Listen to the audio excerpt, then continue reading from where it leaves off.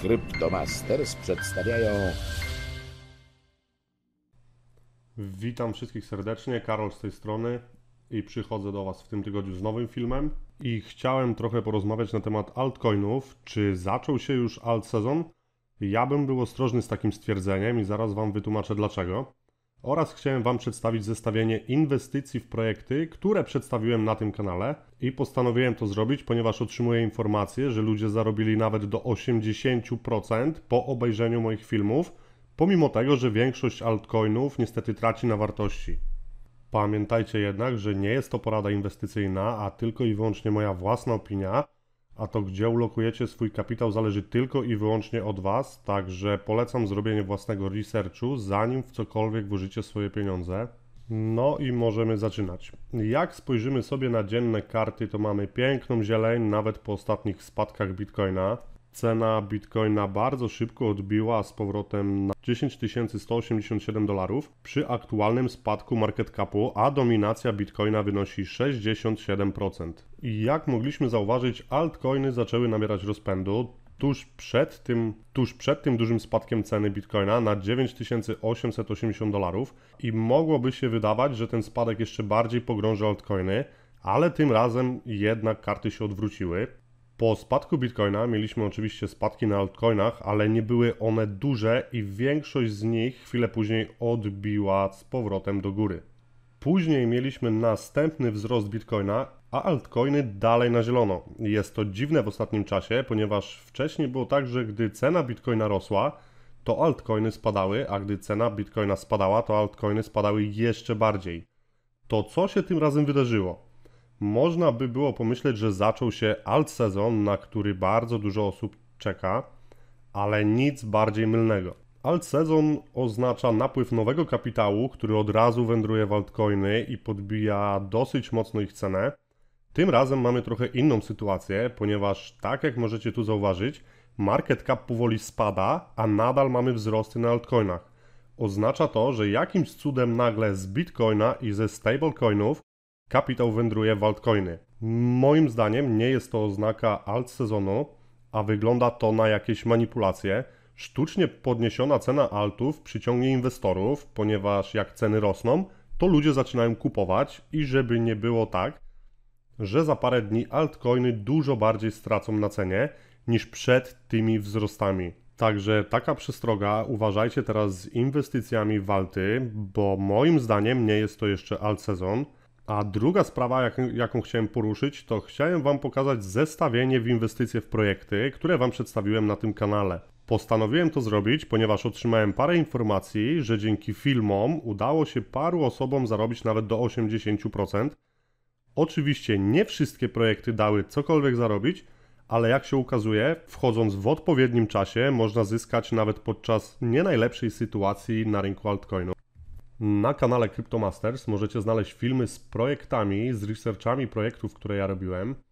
Jest tu m.in. Holochain, T-Food, Electroneum, VeChain, PVX, Morpheus Network, Shacoin, PandyX, TomoChain, Wabi i wiele, wiele innych. Z reguły szukam takich projektów daleko, daleko w market capie, na pewno nie w pierwszej setce, a w drugiej setce, a nawet w trzeciej setce, ponieważ podczas alt sezonu te projekty dadzą nam najwięcej zarobić. Głównie opieram się na fundamentach, czy projekt ma silne fundamenty, żeby w przyszłości mógł zaistnieć i żeby zdobył swoje grono inwestorów. I teraz specjalnie dla Was przygotowałem w arkuszu kalkulacyjnym wszystkie projekty, które zrobiłem przez ostatnie 3 miesiące, cena, jaka była podana podczas robienia filmu, cena na dzisiaj to jest 20 września oraz profit, zysk lub stratę i tak jak tu możemy zobaczyć, duża większość projektów jest na minusie. Mamy pierwszy jest Morpheus Network, który jest prawie na 30% plusie. Następnie Function X jest na 3% plusie. To był Function X był omawiany wraz z projektem Pandy. Dodatkowo TAL, czyli Wabi 0%, Nexus 5% oraz Matic, którego research robiłem ostatnio 8% na plusie co daje nam ogólną średnią minus 17%. Nie jest to najlepszy wynik, ale oczywiście filmy wrzucane są z opóźnieniem, a ceny kryptowalut zmieniają się dosyć szybko. Ja na zapytanie tego fana, który ogląda nasz kanał, za ile kupował T-Food, bo akurat na T-Food udało mu się zarobić 80%, odpowiedział mi, że około 0,0025 centów i w tym momencie trzeba przyznać, że jest to bardzo dobry wynik. Zaraz Wam opowiem tą drugą tabelkę, ale chciałem też powiedzieć na temat FX, ponieważ film nagrywałem, y, bądź był wrzucony 29 lipca i on był za cenę około 30 e, centów za sztukę tokena FX i zaraz po moim filmie cena poszybowała aż na 62 centy, czyli w jeden dzień można było zarobić ponad 100%, o ile ktoś oczywiście kupił i sprzedał zaraz na drugi czy na trzeci dzień. Widzimy to 31 lipca mieliśmy cenę 62 centy. Później cena oczywiście bardzo spadła i dalej są górki i dołki, górki i dołki. Ale nie o tym konkretnie chciałem powiedzieć. Weźmy kartę T-Food. Ja go nagrywałem dziś 3 miesiące temu. Powiedzmy, jego cena wynosiła, zaraz zobaczymy, 0,0056 centów. Czyli gdzieś tutaj w tym momencie, jakby ktoś tutaj kupił, to za wiele oczywiście by nie zarobił, a nawet by troszkę stracił. Ale parę osób poczekało na spadki, którzy pokupowali w okolicy początku sierpnia za cenę 0.0026, 25, 28. Aktualna cena to 0,045 centów. I to właśnie chciałem Wam pokazać, że jeżeli po moich filmach y, zainteresowaliście się projektem i wyczekaliście na takie momenty, gdzie cena zaczęła być stabilna oraz spadła dosyć mocno, to był to dobry znak na kupno tego projektu. I ja tutaj powybierałem nie najmniejsze dołki, jakby ktoś sobie mógł pomyśleć, ale właśnie takie momenty, gdzie cena spadła i szła dosyć długo bokiem. Wtedy był bardzo dobry czas na zakupy. I tak tutaj T-Food dałby nam 84% zysku, jeżeli sprzedalibyśmy go dzisiaj. Elektroneum 37% zysku, Morpheus Network 47% zysku, Function X 55%, Tael, czyli kiedyś Wabi 30%, Enigma 17% oraz Matic 18%. Mamy też projekty takie jak Holochain, który cały czas jest na minusie, cena od filmu cały czas spada, ale nikt nie powiedział, że ta cena nie odbije. Zauważcie, że w każdym tym projekcie cena mocno odbiła i dała nam zarobić dosyć fajny procent. Jeżeli ktoś wyczekał i kupił w takich momentach, gdy cena szła bokiem po spadkach, w ogólnym rozrachunku przy kupnie wszystkich kryptowalut, które e, przedstawiłem Wam na kanale, jest do przodu zaledwie 5%. Oczywiście nie jest to duży zysk ze względu na to, że PIVX na przykład stracił 63%, VET, y, czyli VeChain stracił 45%, Siacoin stracił 46%. Są to bardzo, bardzo duże spadki i one nam dosyć mocno redukują tą średnią. Przy czym chciałem przypomnieć, że z Siakoń to niekoniecznie polecałem do zakupu, tak samo jak Pandy X oraz y, Tomo Chain, na którym ja się w sumie dalej zastanawiam, czy go kupić. A teraz jest dobra okazja, bo cena jest dosyć nisko. I jaki jest z tego wniosek, moi drodzy? Warto oglądać y, filmy z researchami takich projektów i samemu wyciągać wnioski, czy warto zainwestować, czy nie warto zainwestować, czy teraz jest dobra cena, czy cena może być lepsza.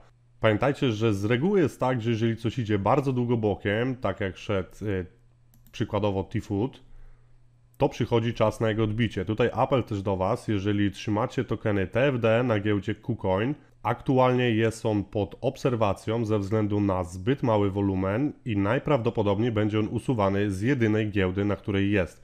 Jest jeszcze tam bodajże na Dexie, ale tam już w ogóle praktycznie tego wolumenu nie ma. Dlatego jeżeli trzymacie tokeny TFD, a chcecie je trzymać długoterminowo, to polecam wyciągnąć z giełdy i przelać na swój prywatny portfel ERC20, ponieważ T-Food dalej jest tokenem ERC20. Z drugiej strony bardzo mnie cieszy informacja od ludzi z zewnątrz, którzy oglądają moje filmy i potrafią wejść w odpowiednim momencie w dany projekt. Piszą do nas i dziękują za film, chwaląc się zyskiem rzędu 60-80%. Jest to naprawdę bardzo fajne. Ja y, Wam dodam, że na przykład Morpheus Network ja kupowałem po dużo niższej cenie, zaraz po problemie, jaki mieli ze schakowaniem sieci i aktualnie jest te ponad 200% na plusie, ale dalej go trzymam. On cały czas pracuje nad tą platformą. Współpracują z coraz większymi firmami i widać, że ten projekt naprawdę ma potencjał na przyszłość ale to jest tylko i wyłącznie moje zdanie. Teraz będziemy przeplatać filmy na naszym kanale z researchami, filmy z jakimiś wiadomościami, z rzeczami, które chcielibyście zobaczyć ze względu na to, że same researche nie cieszą się aż tak dużą popularnością, ale researche dalej będą. Jeżeli macie jakiś ciekawy projekt, to zapraszam, zostawcie jego nazwę pod filmem, a na pewno wezmę go pod uwagę, wybierając następny projekt do zbadania. Jeżeli chcielibyście szybciej dowiadywać się o naszych filmach, to zapraszam się do zapisania na listę mailingową. Link do listy umieszczony jest w miejscu na opis pod tym filmem. Oraz jeżeli, jeżeli macie jakiś ciekawy temat, na który warto zrobić film, to również zapraszam zostawienia go w komentarzu pod tym filmem. A jeżeli będzie naprawdę ciekawy, to na pewno zrobimy taki film. Na dzisiaj to będzie wszystko. Pamiętajcie, że jedna jaskółka wiosny nie czyni i to, że mamy aktualnie fajnie zielono na giełdzie, to nie oznacza początek alt sezonu i nie chciałbym, żebyście po pierwszych wzrostach altcoinów zaraz się pakowali i utopili swój kapitał, bo pamiętajcie, że kupuje się wtedy, kiedy wszyscy sprzedają, a sprzedaje się wtedy, kiedy kupują.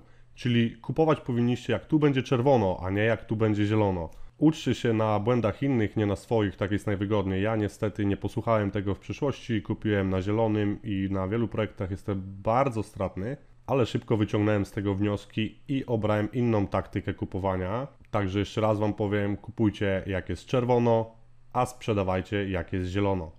Na dzisiaj to będzie wszystko. Dzięki bardzo za wysłuchanie. Cześć.